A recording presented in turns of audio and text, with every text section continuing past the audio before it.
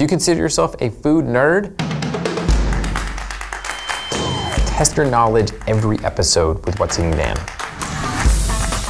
We've got some awesome special guests this season, I can already tell this is Archibald. You get and I share tricks, tips, and recipes you can use tonight to improve your cooking. This is what I call a burger. Hit that subscribe button, don't miss a single one.